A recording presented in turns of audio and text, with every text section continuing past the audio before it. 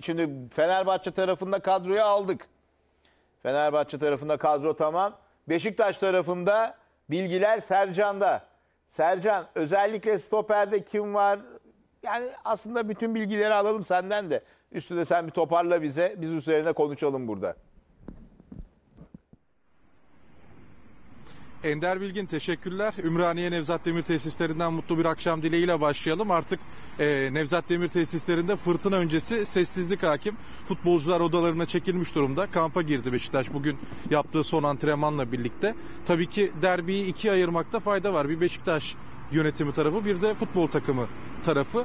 Yarın e, Beşiktaş Kulübü Başkanı Sayın Ahmet Durçebi ve Beşiktaş yönetimi tam kadro şekilde e, Fenerbahçe Ülker Stadyumuna gidecekler ve Fenerbahçe Beşiktaş derbisini stadyumda takip edecekler. Bunun bilgisini e, verelim. E, Beşiktaş futbol takımında tabii e, öğle saatlerinde duyurmuştuk. Muhtemel 11 öncesinde bunu söylemekte fayda var.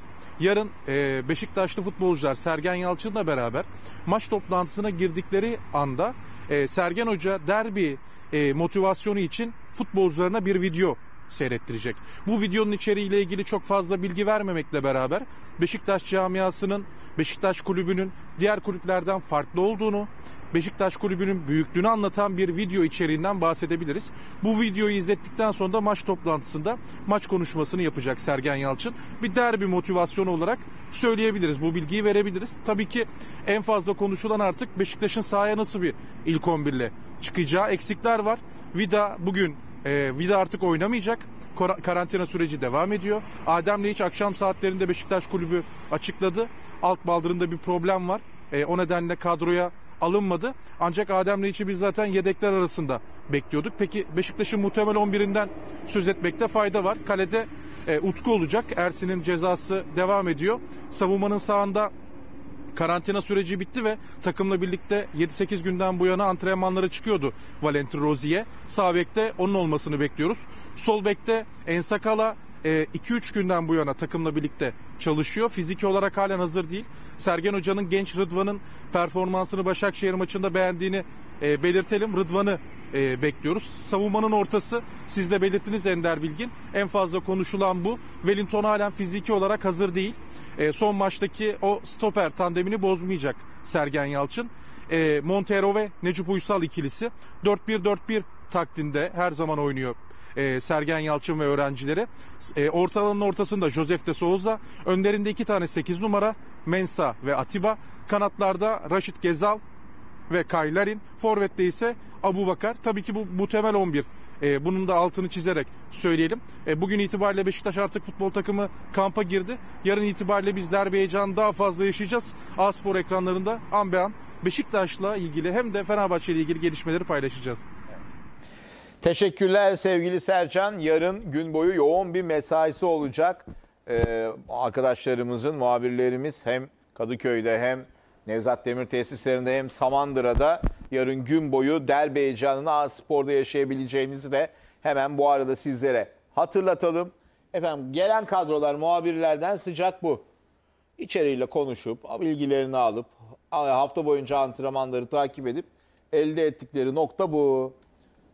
Fenerbahçe'de Altay Kale'de Gökhan Lemos, Tisseran, Caner, Sosa, Gustavo, Ozan, Pelkas, Perotti, Sisse. Aslında hani e, belki Samat da olsa Samat da olabilirdi orada. Bir şey belli oldu Fenerbahçe'de artık 11. Tabii. Bu 11 üzerinden gidiyor hoca. Bir kurgusu var Evet. oyun. Valencia'nın yani durumu hani şu anda e, Covid'e yakalandığı için ülkesinde hala Ener Valencia. O olduğu zaman bazen Pelkas oynatıyordu ama Perotti de hazır değildi o sırada. daha. En büyük şans kadro istikrarı. Bir de- 8 oyuncu Tabii. banko burada. Bir de- Ozan'dan geriye. 3'ü değişiyor. bir de Levent abi Fenerbahçe'nin son yıllardaki bana göre en büyük bu seneki farkı olumlu yönde omurgası çok iyi. Altay'dan Sisse'ye giden omurga çok iyi. Yani Tisserand, Lemos, Altay, Sosa, Gustavo, Ozan, Sisse. O 7 oyuncu omurgada geçtiğimiz sezonlara göre sayabiliyorsun ve alternatifleri de çok güçlü. Sayabiliyorsun. Ama bu Tisserand'la Ender, Lemos'un tam alternatif de uyumunu çok güçlü. kabul etmek Bu Daha tarafta da erken hocam. Beşiktaş. Daha erken hocam. Efendim? Tisserand'la Lemos'un Evet. uyumunu daha kontrol etmek. Bence Orada Serdar da bence oynadı. Ay, Serdar oynadı ama Lemos'un oynaması gerek. Daha tekniği, oyunu kurabiliyor. Bence birbirini tamamlayan oyuncular. Yani Tisserand devamlı oynarlarsa ilk bir avantaj transferde de olur. söyledim. Çok güçlü, sert, sıkı, tam bir lider oyuncu, savunma lideri, uça gibi savaşçı olurlar bir yani. oyuncu. Evet. Yani onun için Lemos'la Tisserand e, daha birbirini tamamlıyor oyunda. Erman Hocam şöyle bir kadrolara bakınca Hocam. Fenerbahçe için Konya maçı e, bir tuhaf maçtı. Bir maç kaldırır. Yalnız bir de Beşiktaş olursa zor kaldırır. evet. Yani Bu 10. bir hafta Konya işte, senin kaldırır. istediğin hafta. Ama 10. bir hafta değil mi bu? Beşiktaş'ta olursa 10. zor hafta. kaldırır. Hocanın beklediği. Hoca dedi 10 Mesela- hafta bakarım diye. Ben Başak Beşiktaş Başakşehir maçında ilk yarı Beşiktaş müthiş oynadı. Hatta ben o maçı burada puanlamayı Beraber. dağıtırken ben o maçı kafamda Beşiktaş için sıfır olarak düşündüydüm. Söyleyeyim. Onun için düşük puan. Fakat inanılmaz bir top oynadılar. Ama gittikçe oyundan düştüler. Şimdi orada nasıl olur tabii. Orta saha burada Atiba, Josef, Mensah. Mensah merak ediyorum. Yani Mensah nasıl düşecek duruma? Böyle mi düşecek, böyle mi düşecek? Yani iyi mi, kötü mü? Mensah çok önemli burada. Orta sahalar yalnız iki takımda Ya- korakor bir mücadele ya. Ya yani şu şu Beşiktaş Josef kadrosu Atiba Mensah, Tabii. Gustavo Bir Sosa Ozan. Tabii, bir kere kaleci Altay'dan Sisse'den, Abu Bakar'dan, aynı şekilde Utku'dan. Dikkat et Ender, 11 oyuncuda kaleciler dahil farklı oyuncu profilleri, farklı özellikleri var. Özellikle Beşiktaş mesela daha direkt oyunu oynar. Mensah şimdi pas oyunu Adem Laiş değil, direkt oynayan bir oyuncu. Josef özellikle Necip'le Montera'nın arasına girip beşleyecek savunmayı Beşiktaş adına ciddi anlamda oraya bir kalite ve direnç getirecek. Ama daha Beşiktaş takımı hem Larin solda e, daha böyle direkt oynayacak bir takım. Bir de bana göre ben olsam Enkudu tabii durumunu bilmiyorum. Yani eğer Caner gibi, Gökhan gibi hazır değil, Caner gibi hücuma çıkan Caner'le oynarsa eğer Fenerbahçe ofansif bir bek iki kenarda oynuyorsa Enkudu gibi hızlı bir oyuncuyu o kanatlarda kullanırım. Özellikle Defans açık alanda açık alanda direkt evet. çıkacak tek oyuncu şu anda Beşiktaş'ta Enkudu kenarda oynayan e, yani oynamayan oyuncular Vida arasında ve, tek o var. Vida ve Şimdi- Wellington'un yokluğunda stoperde Necip Montero ikilisi var. O bir dezavantaj olabilir mi? Ya o olabilir ama Josep'le Atiba gibi de önünde böyle sağlam Set bir olacak. direnç tabii Ender set olan direnç getiren var. iki tane oyuncu var. Geçen hafta Başakşehir maçında da bunu gördük. Özellikle Josep'in gelmesi oraya ciddi bir güç kattı savunma anlamında. Necip sağ bek, sol bek oynarsa Allah muhafaza da ortada idare ediyor. Geçen hafta Aslında tabii. Necip'in yeri yani oynayacağı yer orta sahanın ortası. Yani Evet. oynatacağız ama şimdi oraya Josef geldi tabii. İyi oyuncu. Mecbur arkada oynayacak ama sağ bek sol bekten iyi. Necip'in orada oynaması.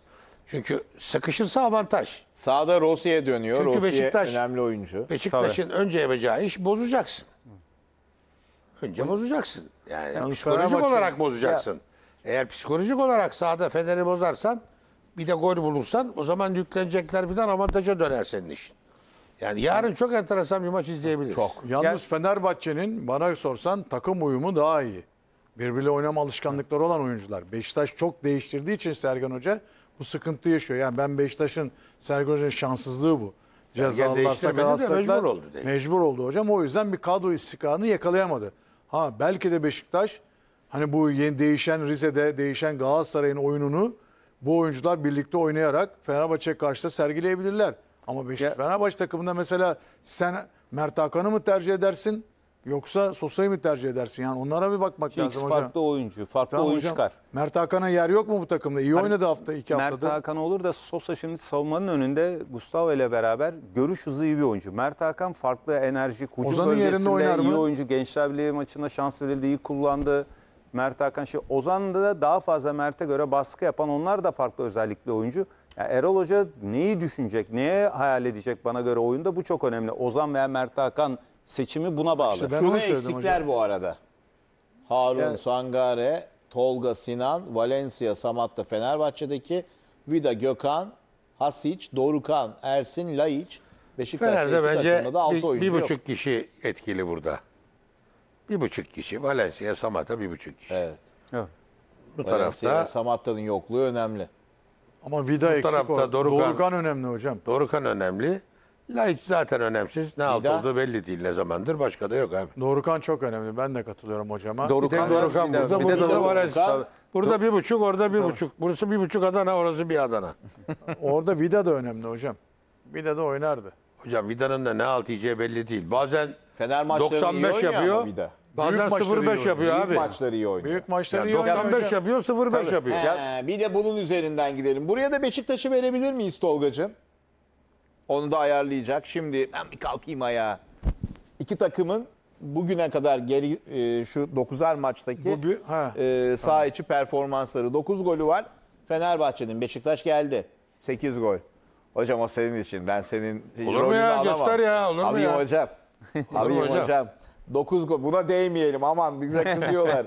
9 gol. Hop o tarafta 8. Şut 9,8 Beşiktaş'ın. 12,2 ortalaması Fenerbahçe'nin. İsabetli şut 4,5 Beşiktaş'ın. 5,4 Fenerbahçe'nin. Topa sahip olma 1,6 1,9 bu yanlış bir şey olması lazım. Topa sahip olma değil bu. Pas %51. Orada ne? %59. O topa sahip olma işte. Orada bir arkadaşlar e, şey yapmışsınız bence. Başarılı pas 84-82. İkili mücadele. Bak orada bir Beşiktaş'ın lehine 52,6 49,3. Ama otur Ve oyuncular var hava topunda da bir farklılık var. Bu oyun ve oyuncu farklılıklarını da gösteriyor değil mi Tabii, hocam? tabii, tabii. Kesinlikle. Bunlar üzerinden bir okuyalım bence. Yani ikili mücadele ve hava topunda mesela Beşiktaş, şut, topa sahip olma. Yani o işlerde oyun yapısı da gözüküyor. Burada en oyuncu yapısı da. adam kim biliyor musunuz? Abu Bakar. Efendim hocam? Şey, yani Santrfor Beşiktaş'ın. Evet. Yani en enteresan sazı gibi yani Neyze'nin sazı gibi ne çıkaracağı belli değil o adamın. O günkü Hocam ne bunu- per- performansı Ben ne bunu oldu? Larry- Çok değişik Larry bir için adam. de O söylerim yani, hocam. Yani Larry şey, de- havan da Larry çıkar. için. Larin de önemli. Kritik Son oyuncu. Onu söylüyorum ama hocam, bu Abu Larin çok bu kritik deplasman bir oyuncu. olayında bu deplasman olayında tamam Larin giriyor çıkıyor da Abu Bakar enteresan bir adam yani defans Peki olarak. Samatta mı. Sis- Samatta mı Sisse mi oynardı sizce? Sağlıklı olsa bugün kimi koyardınız Ben, ben hocam? Sisse oynatırdım. Niye? Çünkü şimdi Wellington video oynamıyor. Necip evet iyi oynadı ama şimdi stoper or- orijini bir oyuncu değil. Montero da daha yumuşak oyuncu. Sisse onların mesela yanında Samatta da olsa daha fazla iş çıkartır. Yani oynayan stoperleri bir göre bir hücum oyuncusu oraya planlamak Bak, gerekir. Dorukan oynasaydı Josef'i stoper oynatırdı hoca. Ne kadar seyircisiz seyircisiz oynansa iç saha dış saha maçları hani diyoruz ya iç saha oyununda Sisse'nin oynaması gerekir. Büyük Oscar Fenerbahçe rakip yarı alanda oynayacak. Topa sahip olmak isteyecek. Burada özellikle set ucum veya dar alanda oynayacaksa Samatta'dan daha farklı bir oyuncu Sisse. Sisse'yi oynatmak daha doğru. Mesela Larin'le ilgili Müzik benim... geldi yine. Tolga Larin'le diyor ki ya ilgili- reklam arası daha verin. Larin'le ilgili Tolga şunu sen söyleyeceğim. işi çözdün. Ender, mesela Larin çok enteresan bir oyuncu. Şöyle bir şey. Tık diye tek vuruşu yapan bir oyuncu. Ya enteresan bak arada o top ben vuruşları Larin- yaptığı takdirde... Geçen hafta mıydı o? Bir ceza ben- sahası dışından şöyle bir kavisli vurdu. Erman abiyle beraber Ya ikimiz de iyi şey yaptık yapıyor. durduk. Gazel böyle. şimdi Gezal e, Gezal sağ çizgide oynuyor. Sol ayak işte ters ayak. Leicester'lı oyuncu evet iyi bir oyuncu. Solda Larin çok formda ama ben az önce de söylediğimi tekrarlıyorum. Orada mutlaka çizgide yani hızlı Enkudu Enkudu takviyesi evet beklendi. oynamak gerekir. Devam edeceğiz. Bir kısa reklam arası verelim. Devam edeceğiz derbiyi konuşmaya efendim. Bizden ayrılmayın. Evet takım oyununda son bölüme girdik. Fenerbahçe Beşiktaş derbisini konuşuyoruz. Artık saatler kaldı değerli futbol severler. Derbiye tabii e, derbi heyecanı bir başkadır. İki takımın teknik direktörlerinin penceresinden de bir bakalım. O pencerede e, Süper Lig kariyerlerini görüyoruz. 100 maç, 131 maç. E, puan ortalaması Erol Bulut'un 1.51, Sergen Yalçın'ın 1.48. Veya hocam teknik direktör karakteri olarak nasıl iki teknik adamın belirleyici özelliği ne? Erol Hoca'nın şimdi referansı nerede var bizde? Malatya ve Alanya'da. Daha sistematik. Fenerbahçe'de de onu oynatıyor. Daha fizik kalitesi iyi. Adaletli davranıyor. Kim iyi oynuyorsa onu oynatmaya çalışıyor. Yani daha sistemli ve de kendi oyun felsefesine uygun oyuncularla oynuyor. O oyun planına kim uyuyorsa, kim saha içinde onu bozmuyorsa o oyuncuları tercih ediyor. Şimdi Sergen Hoca tabii ki yani bunda tabii Erol Hoca'nın oynadığı işte mevki, futbolculuk dönemi bana göre antrenörün karakterinde çok önemli olduğunu düşünüyorum. Bakışını da etkilediğini düşünüyorum futbola. Tabii Sergen Hoca da İkisi de solak. tabii ikisi de sol ayak dediğin gibi. Bir de Sergen Hoca tabii daha ofansif, daha saha içinde liderlik yapan, daha hücumu düşünen bir e, yapısı vardı. E, antrenör olarak, oyuncu olarak da öyleydi zaten. Ama e, yani özellikle böyle maçlar ne biliyor musun? En önemli. Şimdi bir yönetim odası vardır.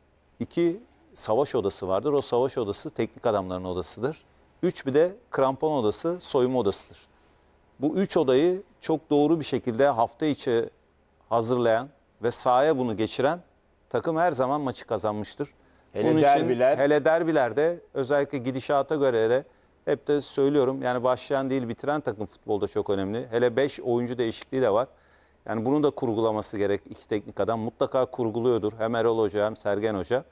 Ama ikisinin farklı oyuncu özellikleri, farklı karakter yapıları yani olumlu yönde söylüyorum hayata bakışları her şey farklı.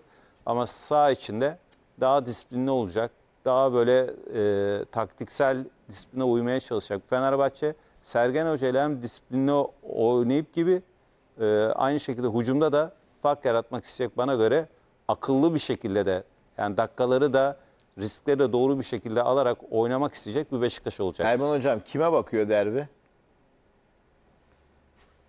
Şimdi siz artık pandemide diyorsunuz ki artık ev sahibi deplasman takımı avantajı dezavantajı görmüyorum ben. Şimdi şey olsa seyircili olsa işin rengi farklı tabii. Şu şartlarda Şimdi Konya maçına gelene kadar Fenerbahçe'nin kafamdaki yeri başkaydı. Ama Konya maçından sonra Fenerbahçe'ye biraz Gençler Birliği maçı bakıyorum. Gençler Birliği maçı bana Gençler Birliği Ölçü Ankara vermiyor. gücü maçlarına falan söylemeyin ha. Onlar ikisi de takım değil şu anda. İkisi de çok kötü idare ediliyor. dost acı söyler. İkisi de çok kötü idare... İkisi de benim takımım. Tabii. Oynadın değil mi Gençler, Gençler Birliği'nde? Birliği genç takımında başladım ben futbola. 15 yaşında. Onun ikisi de benim takımım ama Ankara gücüde uzun oynadı. İkisi de takım değil şu anda yani. İkisinde oynayan takımlara ben gençler maçı, Ankara gücü maçı bana örnek olmaz. Anladım. Onun için Konya maçı mesela Konya teknik adamı İsmail'in takımı çıkarması, oyun şekli filan çok enteresan geldi. Ve yani Fener'i duman ettiler. Ama Fener iyi sinyaller veriyor, iyi işler yapıyor. Şimdi yarınki maçı merak ediyorum. Sergen ne yapacak? Oyuncularla ne yapacak? Onu merak ediyorum. Ya onun için bir şey diyemiyorum. Güzel maç. Yani hakikaten keyifli olmaya namzet. Bir, iki, maçı papaz idare etmiyor. Papazlardan biri idare etmiyor. Ha, bir dakika hocam. Şimdi bu papazlardan Tugay birinin idare etmemesi enteresan. Birer tane Beşiktaş Fener derbi zaten yok da bir Fener maçını yönetmiş, bir Beşiktaş maçını yönetmiş şu ana kadar. Ya tamam cesaretle çıktılar versinler. Ben vermelerinden yanayım. Çünkü merak ediyorum. Onu zaten vücut Riskli anlarım. ama, Vücut riskli. anlarım. Gördüğünü çalsın çıkar. Ya bu maçla kazanacaklar ya bu maçla kaybedecekler. Kaybetmezler. Kaybetmezler diyorsun değil mi? Kaybetmezler. Çok majör bir şey olmazsa. Yok abi kaybetseler ne olur ya neler yapıyorlar diğerleri. Hani papazlar iyi olsa Doğru. mecbursun şu sıralar vermeye. Onun için futbolcular üzerine gidip oynamaya kalkarlarsa ne olur? Bak bu çok enteresan. Seyirci olmaması bir avantaj. Tanımıyorlar, bilmiyorlar. Gidip üzerine oynamaya kalkarlarsa hakem nasıl bir reaksiyon gösterecek onu merak ediyorum yani. O baskıyı mı hocam nasıl kaldıracak? Kolay değil ama Oyuncular hocam. baskı Futbolcu yaptığında baskısı. anladım futbolcu Seyirci baskı. değil, Hayır futbolcu seyirci baskısı. zaten yok hocam. Yani oyuncu baskısını nasıl kaldıracak sahada böyle itiraza geldiklerini onu mu dile getirmek Kafadan istiyor? direksiyon eline alırsa iyi yoksa almazsa kötü tabii. Dağılmaması lazım. Derbilerde öyle. Tabii Bir de Fenerbahçe takımında çok deneyimli oyuncular var. Gökhan Caner. Derbi- Acımaması derbilerin ustaları Acırsa bunlar. acınacak duruma düşer. Acımayacaksın abi. Biz haldeyken öyle derdik biz mal satacağız ya. Sat acıma. Sat acıma. Yarın gene gelecek mal satacaksın. Sen de at acıma. Ya atılacaksa at. Seni ezerse yarın bir gün hep ezilirsin. Çünkü futbolcu hakem hakem yapar. Hakemi ne MHK yapar, ne federasyon yapar, ne basın yapar. Hakemi futbolcu yapar. Bir de Konuşur futbolcu. Ulan bu adam iyi adam. Dik durdu. Diyarbakır'da, Adana'da, Mersin'de, İstanbul'da, İzmir'de dik durursan yırtarsın. hocam bir de genç tecrübesi diye şimdi hepimiz oynadık. oynarlarsa. Şimdi o üstüne tabii oyuncular var ya bir test edecekler, bir tartacaklar doğru mu saha Tabii. içinde? İşte burada dediğiniz doğru. Tabii onu yani. Orada hocanın kartı göstermesi, vücut dili, illa kartta göstermeyebilir. Vücut dili çok önemli. O tarttıklarında test ettiklerinde saha içinde Beşiktaşlı bu hakem Fenerbahçeli değil. oyuncular Bu buradan olursa, çok doğru bir ya, şekilde hareket etmesi Bu gerek başarılı hocanın. olursa arkası Önünü da açılır. açacak. Diğerlerinin Tabii, de önünü açılır. Tabii. Yalnız Yoksa diğerleri böyle yapacak. Gördün mü? Hadi Gördüm, bak tabii. gene bize mahkumsunuz diye. Fenerbahçe hakemle ilgili açıklama yaptı mesela. E işte şey falan çıktı sosyal Çok medyada. köpürtmeye çalıştılar İşte, sosyal e, medyada. şurada Koç çalışıyor, grubunda böyle çalışıyor, Ali yapılıyor Koç'un falan diye. şirketlerinde çalışıyor Yalanlandı diye. o. Fenerbahçe açıklama yapmak zorunda kaldı. Ne babası bizde oynadı ne kendisi bizim şirketlerinde çalışmıyor diye. Bu da doğru Yanlış, bir ayıp öyle bir yanlış şey bir şey, yaptılarsa- yani açı, açıdan. Yani Eğer belgeli varsa bile yani hakem Olacak şey çıkıyorsa çalsın ama ben hala daha Fenerbahçe'nin mesela Beşiktaş şöyle bir şey Fenerbahçe'yi bozabilir. Kaos futbolu oynarsa bozabilir. Kaos futbolunda böyle çok saldırıyorsun ya. Futbol Beşiktaş Hocam Futbol- 9. Süper Lig maçı Fener Beşiktaş derbisi. Ya tabii Levent abi futbol sonuçta bir kaos oyunudur. Bakma Ama kaos kaos- deriz ya saha içinde bilinmeyenlik işte şut atıyorsun, duran top, set ucumu yapıyorsun, kontra atak, bile hücum bir geçiş kaos, yapıyorsun, evet. baskı altına alıyorsun rakibi. Sonuçta o bir kaos oyunu. Kaos oyununu rakibe o baskıyı hissettirdiğinde zaten orada çözüp gol atıyorsan Ama bugün mesela Galatasaray'ın Maçı oynadığı oyun kaos oyunu Levent değil. değil. Kaos Ama- oyununu Beşiktaş Hayır, hayır. Başakşehir'e yaptı. Beşik, Başakşehir bozdu. 3-0 öne geçti. Ondan sonraki süreçte Başakşehir doğru kötü manada değil illa. Ben ne diyorum ama Beşiktaş bunu yapabilir. Fenerbahçe Beşiktaş- Tugay daha Hoca'nın, disiplinli Tugay oynayan, Kahramoğlu'nun kaostan uzak, yönettiği maçlar daha bizim ayağa kupada oynayan, var daha bu çok arada. oyuna okul, akıl koymaya çalışan bir takım konumunda ya Beşiktaş Fenerbahçe. set ucumu Sen kimi favori görüyorsun Levent abi? Yani senaryo olarak. Hani skor olarak değil de oyun e, Ben oyun güçlü oyun olarak hocam her zaman söyler. Ben Fenerbahçe'yi bir adım önde görüyorum. Güçlü oyun olarak. Ha Fenerbahçe dediğim gibi Beşiktaş'ın bu hani var ya, Ya, itip kalkmalı Be- oyunda, kaos oyununda dağılırsa Ya- Fenerbahçe o zaman sıkıntı Ya yaşayabilir. Beşiktaş geçen hafta konuştuk ya 3 puandan fazlasını kazandı özgüven. Evet. Ya bu da çok önemli. Şu Kadıköy'e böyle gidiyor. Eğer Başakşehir'e kaybedip mesela giden bir Beşiktaş olsaydı derdin daha rahat. Onun için Beşiktaş daha böyle Sağdaki- özgüvenli olması Beşiktaş takımı adına çok önemli olduğunu düşünüyorum bu derbi öncesi. Özellikle, özellikle hocam sağdaki duruşu nasıl e, hakemin? Yani vücut o dili- önemlidir vücut, dili. dili. Fiziği de iyi. Vücut dili iyi. Pozisyonlara yakın olsun. Ezdirmesin, cin gibi olsun. Etrafı radar gibi baksın. Topun tersine baksın. Nasıl olsa topu şey de yakalıyor. Var da yakalıyor topun olduğu yeri. Terse baksın. Topçulara böyle yapsın. Böyle topçuya böyle yaparsın bazen. Sen koşarsın, uyanık iki topçu birbirine alışır. Böyle. Anlıyor musun? Gidersin. Aniden döndüğün zaman yakalarsın, böyle yaparsın. Hayırdır? De gitti. Bir daha yapamazlar. Ama işte Gözünle idare edeceksin. çok Gözünle maçı. akıllı oyuncular var oyunun içinde. Çok tecrübeli oyuncular var. Bu yanaşıp mesela Caner çok konuşur hakemle. Atiba çok konuşur. Yani bunlar tabii ki baskı altına almaya çalışırlar hakem. Evet. Gökhan konuşur yani tecrübeli var futbolun içinde bunlar var. Ya. Hakaret Var. etmediği sürece bu tür diyaloglar olacaktır yani. Bir de sayı bir de şu var. Fenerbahçe'nin en büyük avantajı hocam da teknik açıdan bak zaman duran toplarda çok adamı var abi. Lemos geliyor, Tisserand geliyor, Sisse var. Yani Beşiktaş'ın bu konuda Larin Ama hava topunda mesela daha üstünlük Beşiktaş'ta. tamam ama işte mesela ona ben şaşırıyorum. Fenerbahçe'nin daha üstün olması lazım. Ama Wellington'la Vida'da oynamıyor. Tabii Ha, oynamıyor. doğru. Olsalar da o, mesela o, gra- o istatistiğe mesela, sebep olan. Mesela Beşiktaş'ın göbekteki iki stoperi Fenerbahçe'nin duran toplarında zayıf kalabilir. Yani buralardan Fenerbahçe etkili olabilir gol atma konusunda Ya, duran toplarda. ben Yani e, çok Bir de Fenerbahçe'nin duran topta çalışması var. Mesela şeyin Gökhan e, Caner.